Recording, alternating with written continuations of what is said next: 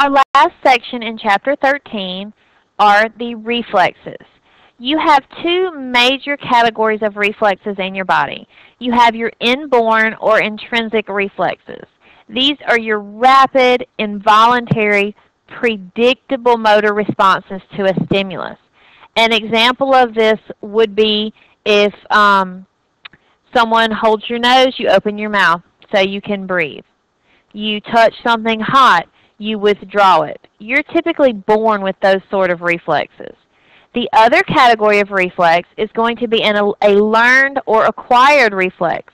You, uh, you develop these reflexes as you do something repetitively. The best example I could come up with would be driving. Have you ever been driving down the road and realized you were paying absolutely no attention to what you were doing? That's because you have developed a memory. You know how to do that. When you see a red light, you immediately contract your muscles you need to hit your stop, your brake. You know you need to stop when you see that. That's a learned reflex. Every reflex in your body is made of five components and makes up what we call the reflex arc. A true reflex does not require higher level processing of the brain. It goes directly through the spinal cord.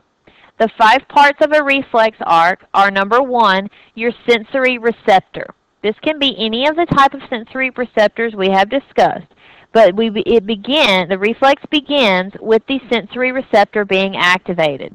The sensory receptor then activates a sensory neuron that moves into the spinal cord. Once in the spinal cord, that sense then activates the third part, the interneuron. This is where your integration and processing occurs. The interneuron then synapses with a motor neuron leaving out the opposite side of the spinal cord until it moves into the effector organ, which is going to be usually a muscle fiber or some sort of gland that is going to respond to the original stimulus. It is important for you to develop reflex arcs that so that you do not have to always rely on signals moving all the way to your brain for you to respond. Now what we're going to do is explore some of the different types of reflex arcs you have in your body. The first reflex is a stretch reflex. And whether you realize it or not, this is probably the one you're most familiar with. If you've ever gone to a doctor and they had you sit on the table and they hit your knee with something, they were checking to make sure that everything was okay in your spinal cord by checking your stretch reflexes. Stretch reflexes are used on an everyday basis to help us maintain our muscle tone and our posture. The way a stretch reflex works, if you activate that reflex, it's going to cause a muscle to contract in response to the activation of the sensory receptor. And I'm going to flip to a picture to show you the one that you're most familiar with is called the patellar reflex. In this reflex, the quadricep contracts while the antagonistic muscle, the hamstring, relaxes. So if I am sitting with my legs dangling and someone activates the sensory receptor here in my tendon, that is going to then activate the stretch of this upper muscle, the quadricep. When that stretch receptor is activated, that sends a signal through my sensory neuron. It integrates at the interneuron and then sends signals out motor neurons and goes to effectors. With this, there's going to be two effectors. You're going to cause a contraction of the quadricep, the muscle that was stretched, and a relaxation of the antagonistic muscle, the hamstring.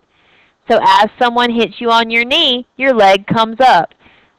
Your leg is coming up because your quadricep is contracting and your hamstring is relaxing.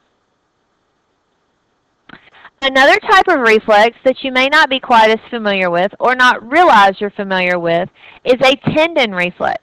Tendon reflexes cause the opposite reaction of a stretch reflex. when the best example I can come up with for a tendon reflex occurs, let's say that we're um, lifting a weight with our arms. So as we flex our forearms, our bicep is going to contract. If we do this repeatedly to the point that we are causing a strain on that bicep, then our tendon will be activated and our tendon is going to begin to stretch. When that tendon stretches, that tells us that we're putting too much strain on our bicep, and that sends the reflex to our contracting muscle, our bicep, that it needs to relax.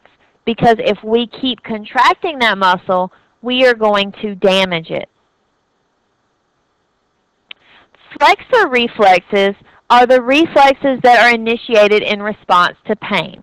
Think about what happens if you reach your hand out and touch a hot stove. How do you immediately, without even thinking about it, pull your hand away? You're going to flex that forearm. You would never extend your forearm to try to get it out of the way. It naturally wants to flex. That's how you withdraw that body part that is being threatened by the pain. The cross extensor reflex will sometimes accompany a flexor reflex if the flexor reflex is occurring on a weight-bearing limb. So now let's think about in an example if we stepped on a nail. If I stepped on a nail with my left leg, my flexor reflex is going to cause my hamstrings to contract to help me, along with my a few other muscles at the same time, to get my left leg off of that nail. If I do just the flexor reflex and don't take care of the opposite side of my body, I would fall down. So at the same time your flexor reflex is taking the threatened limb off of the pain, the opposite limb is going to extend muscles to help you maintain your balance and not fall over. The last two type of reflexes are two superficial reflexes on your body. These are used as integrity tests. The plantar reflex tests the spinal cord integrity from lumbar vertebrae number 4 to fused sacral vertebrae number 2. The way this works, if you touch the plantar or bottom surface of someone's foot, their toes should curl. So you probably have at least seen this on a movie when they come in and they want to check and see if somebody has any feeling in their limbs. They'll rub something up the bottom of the foot. They're looking for the toes to curl. If the toes curl in, that says the spinal cord is fine, at least in this region. If you get a Babinski sign, that's where the big toe is going to dorsiflex while the other toes fan out laterally. That says something's wrong in that region of the spinal cord. Another superficial reflex is the abdominal reflex. It tests the integrity of the spinal cord a little higher in the lower thoracic region. The way this works, the abdomen is touched near the umbilical or belly button region, and if the umbilicus, the skin around the belly button, moves towards the area you're stimulating, that tells you that the thoracic region is okay.